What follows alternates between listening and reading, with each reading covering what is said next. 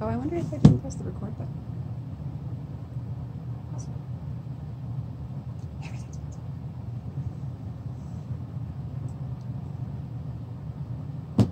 Hello, peoples, and welcome to another unboxing video. Ooh, it sounds like there's so many. There's two. Um, today we're going to unbox this box with vintage feathers. There's a few new ones. Most of them are ostrich feathers, those big long ones everybody loves. So let's see if I can do this without knocking the camera. Oh, and I closed it all the way. Oh no. This. Okay. Let's try that again. Okay, we'll just front of it. Hmm. All right.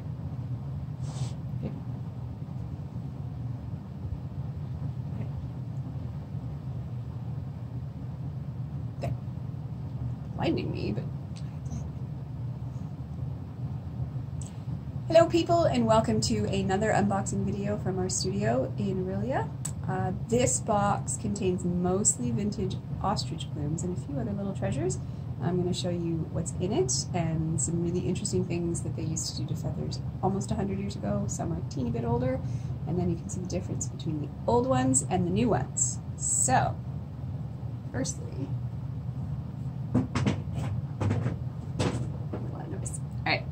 so ostrich feathers, as a lot of people might remember, they're like this, the really fluffy ones, and they've been really popular. There's a million things you can do with them. This is a modern ostrich feather, uh, not one of the really big ones. Uh, we're not in the habit of wearing really big feathers um, lately, and I'm going to just show you. This is another modern one that has had some, like a war. I don't know what happened to it.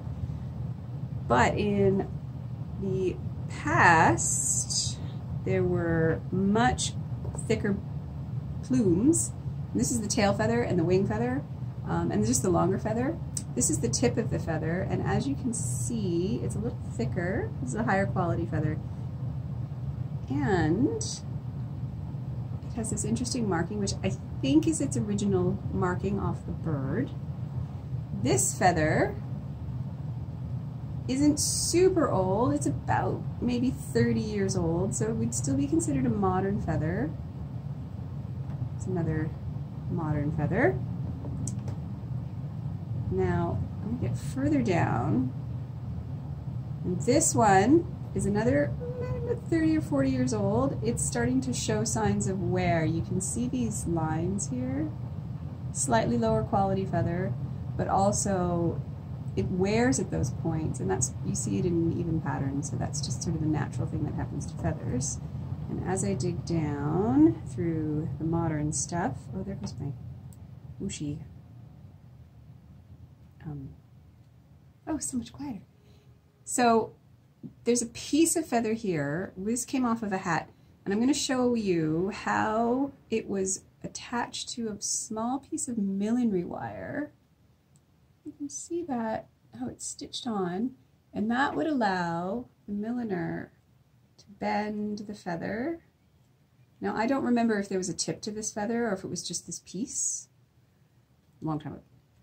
Now we're getting into the really old stuff. Now this one, we es we estimate this one, it could be 40s because these feathers were really popular, but my inclination is to say pre-First World War, Edwardian.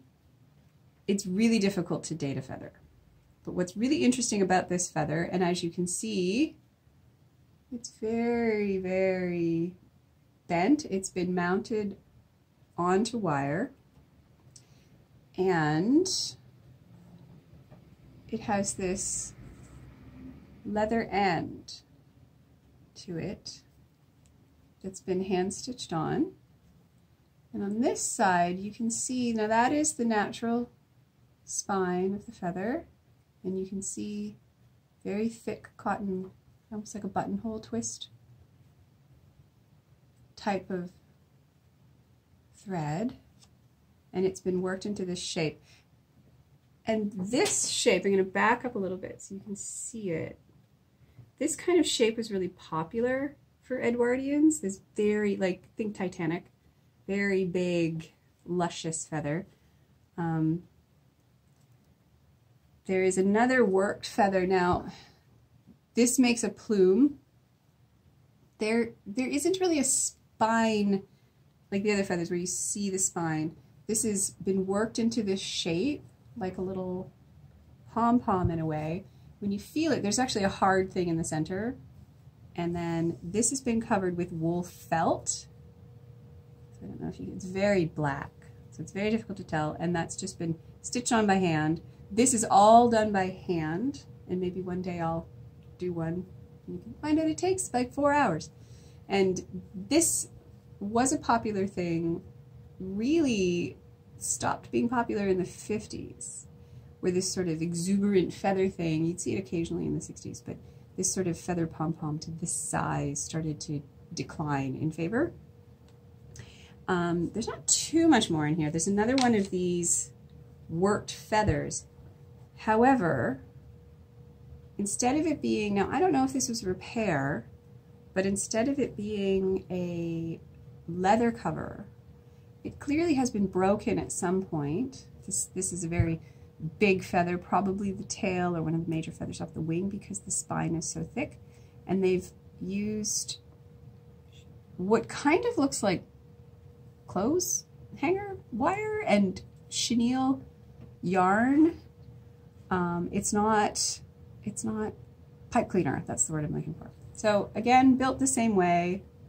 Um, it's showing signs of age, and I don't know if you can tell, put it over against my cheek. You see that little knot? It's not really a knot. It's sort of like, it's starting to disintegrate and slide in a weird way. Definitely showing a lot of age. Sometimes things get eaten in weird ways.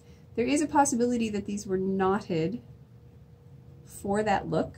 So that, if that's not age, it's knotting and then it's all hand done. And it's kind of difficult to tell because it's not it's not evenly done. So maybe it was later, somebody was playing. I don't know. These were given to me by somebody. Again, this one is another one that's been broken. Potentially it broke off the hat. This is this is several feathers. Probably six, maybe a few more, all mounted together to create this very thick tail.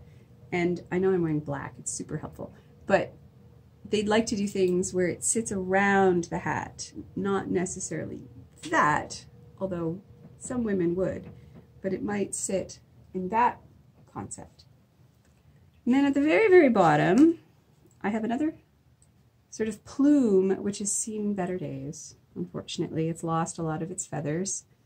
Um, you can see the little sort of, it's very flattened pom-pom shape and then it's got this sort of skirting around it, I think, to almost looks like a flower. It's very reminiscent of a, a spider mum type of, it's beautiful, but it's falling apart in one of my favorite colors. And then we've got something you don't see very often, although you can still get it from Millinery Supply. I tend to not use it.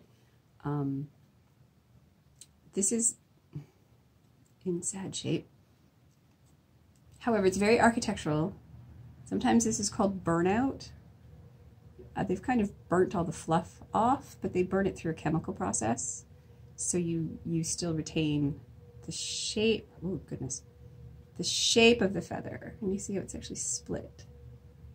So you only have one half of the feather instead of both halves. And then they do the burnout process, which takes all the fluff away. So you get just kind of like these spines that are a bit like grass. And then I think, oh, there's another there's another one of these flower plumes with lots of stuff attached to it that have been flattened for the last 50 odd years or more. And they would we would steam them and potentially mount them to something if somebody's willing to, to do that. Now the last thing, one of my favorite things to use, which I don't use very often, are pheasant tails. These are only 14 inch. Um, people really enjoy these. These are modern. I bought them maybe about 15 years ago in New York City. Uh, they can be bent. These are the natural color. Uh, you can get four foot, you can get five foot if you're really lucky, which would be really annoying to anybody walking behind you. But I can also get really small ones, and I really enjoy working with these. And they're they're quite dramatic, and you're guaranteed to poke the eye out of your your person standing next to you, especially if you're as short as I am. So I think that is the end of the box. It does look like the end of the box. So thank you for coming to another one of my unboxing videos and hopefully I'll do a few more. Bye for now.